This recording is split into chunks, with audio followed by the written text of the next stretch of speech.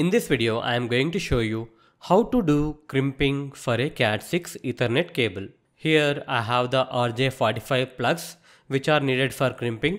Now you need to remove the top layer of the wire. After that inside you will find uh, different color copper cables. You need to separate the copper wires. We are going to follow RJ45 color coding system.